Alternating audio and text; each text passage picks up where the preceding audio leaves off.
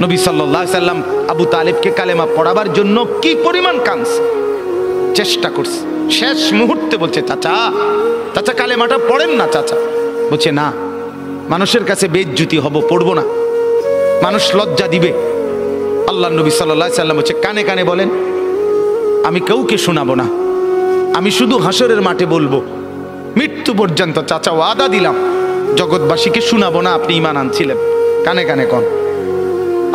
আবু তালে বলছে না, কানে কানেও বলব এবার নবী বলে, চোখের পানি ফেলতে ফেলতে, চাচা, এমনও কইতেন না। তো ঠিক আছে চাচা, আমি কালেমাটা পড়ি। আপনি কদূর ঠোঁটটা নাড়েন। আপনি শুধু ঠোঁটটা নাড়বেন। আমি হাসরের দিন বলব, মাওলা, আমার চাচা কালেমা পড়ছিল এই জন্য ঠোঁট নাড়ছে। এর সুযোগ দেন। চাচা বলছে, না না না, আমি ঠোঁটও নাড়বো না। আল্লাহ নবী তখন অঝরে কাঁদতেছিলেন আর চোখের পানি ফেলে বললেন, চাচা, আপনি জাহান নামের আগুনে জ্বলবেন, আমি সইব কেমন? আবু তালেব নাফরমান তখন কি বলছে জানেন? আন্নারু খাইরুম মিনাল আর। মোহাম্মদ, মানুষের কাছে লজ্জা পাওয়ার চাইতে আগুনে জ্বলা অনেক ভালো। বাফ, নিজেদের জিন্দিগিতে একবার ভাইবা দেখেন। আমিও ভাবি, আপনিও ভাবেন, এমন আচরণ আমার মধ্যে আছে কিনা? তিন দিন ধরে যে বাড়িতে মেয়ের বিয়েতে, ছেলের বিয়েতে যে ডেকসেট বাজাইলেন, কারে খুশি করার জন্য? হ্যাঁ? এক লক্ষ টাকার গেট, এরপরে গায়ে হলুদের এই নগ্ন অনুষ্ঠান, কার জন্য করলেন? বেড়া, বেড়ি সব, যুবক, যুবতী সব একই মাইক্রো প্রাইভেট কারের ভিতরে যাতাযাতি করে বহাইয়া একখান থেকে একখানে নিলেন। কার জন্য? পুরা প্যান্ডেলের ভিতরে একসাথে বেড়া বেড়ি একত্রে খায়, নাচে, গায়, ফুর্তি করে। কার জন্য? শুধু সমাজ। সোসাইটি। পরিবেশ। সোসাইটি মেনটেন করছেন। সমাজ মেনটেন করছেন। ছেলেরা চাইছে, মেয়েরা চাইছে, বাচ্চারা চাইছে, এতে হেতে চাইছে। তো মালিক, তিনি কি চাইছিল? ওনার কথা মনে হয় নাই? রসুল সাল্লা সাল্লাম তার কথা মনে হয় নাই বলেন কেয়ামতের দিন নবী সাল্লাহ আলিহাসাল্লামের কাছে কোরআনে আছে فكيف إذا جئنا من كل أمة بشهيد وجئنا بك على هؤلاء شهيدا নবীকে বলছে আল্লাহ বন্ধু আপনার উম্মতের প্রত্যেকের আমল নামা আমি আপনার হাতে দেখাবো আপনার হাতে আপনার সামনে পেশ করব আপনি দেখে কথা বলবেন আমার কাছে। সুপারিশ আপনি কইরেন, মানা নাই, কিন্তু আপনি দেখে করবেন। রসুল্লাহ সাল্লাহ সাল্লাম যদি হাসরের ময়দানে এরকম আমল নামা খুলে, উল্টায়, আর পৃষ্ঠার পর পৃষ্ঠা দেখে ফজর নাই, জোহর নাই, আসর নাই, মাগরিব নাই এশা নাই, শনিবার, রবিবার, মদ, জুয়া, অবৈধ উপার্জন, গান, বাদ্য, নাটক, সিনেমা, জিনা, ব্যবিচার, বেহায়া, বেপর্দা, সব উল্টায়। আল্লাহ নবী সাল্লাহ সাল্লাম তখন বলবে, উম্মত, কি এটা? উম্মত, আমার তেইশ বছরের এত চোখের পানির কথা একবারও মনে হয় নাই। কি আনছো এটা আমারে?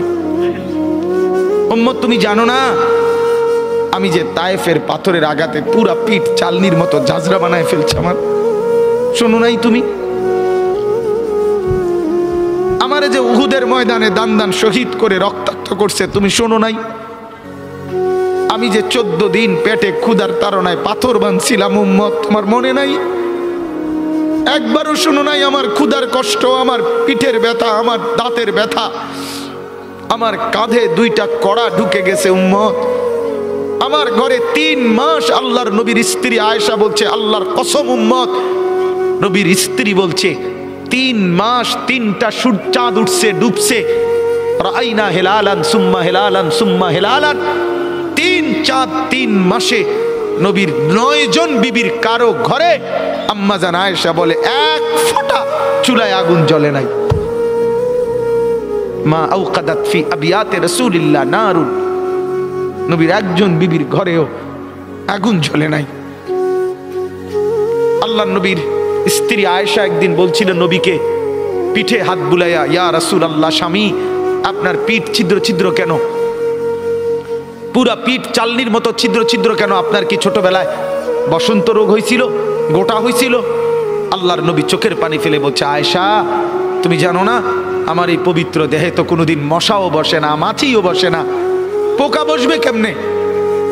আমার পবিত্র দেহে তো হাঁটলে মেশকের গ্রান বের হয়। আমার পেশাব পায়খানাও তো কোনোদিন জমিনের উপরে এক সেকেন্ড থাকে না, মাটি ফাঁক করে ভেতরে নিয়ে যায়। সেই আমার গায়ে গোটা হবে কেন? আয়েশা, এগুলো আমার তায়েফের পাথরের আঘাতের রক্তের দাগ।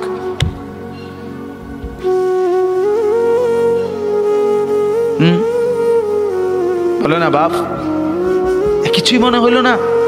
এভাবে ভুলে গেলেন। ভুলে গেলেন?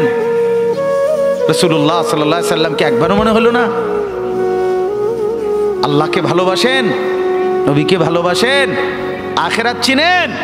এই বাপ, আমি আপনাদের সন্তান।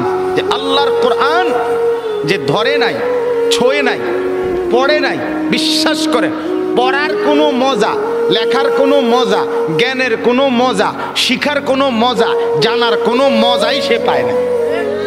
আপনি যেন কিছুই পান নাই, তেমন কিছু পান না। এ তুড়ি ফইরা, এ ভাত ভাত তরকারি যায়, ইডি এমনি খাওয়া যায়। দূর মিয়া এমনি মিলান ভাত লাগে এত এত মেহনত লাগে না। অল্প কয়টা ভাতের জন্য বিল্ডিং জন্য এত কিছু করতে হয় না। এত কিছু করতে হয় না। অতএব দয়া করে, মেহরবানি করে, হাত জোর করে অনুরোধ। আপনি শিখেন, কোনো মানা নাই। আপনি বৈষয়িক সব পড়া পড়েন।